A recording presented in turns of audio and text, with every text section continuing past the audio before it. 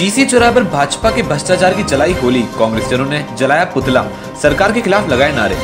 गुरुवार को होली दहन से पहले कांग्रेस जनों ने भाजपा भ्रष्टाचार का जीसी चौराहे पर भ्रष्टाचार की होली चलाई कांग्रेस जनों का कहना है कि हमारी सरकार जल्द ही भाजपा और भ्रष्टाचार दोनों का सफाया कर देगी।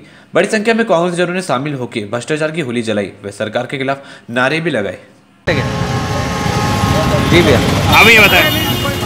आज हम लोगों ने पूरे राजस्थान के अंदर हर मुख्यालय के ऊपर भ्रष्टाचार की होली जलाई है। भाजपा सरकार के खिलाफ होली जलाई है। पूरे मुख्यालय पर प्रोग्राम हो रहा है। राजस्थान अवाब आयोग की तरफ़ से प्रोग्राम किया जा रहा है पूरे राजस्थान के अंदर।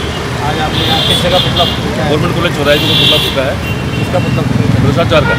करप्शन जो है आज जो प्रदेश में जो का है उसकी हमने होली जलाई है। भ्रष्टाचार की होली जलाई है हमने।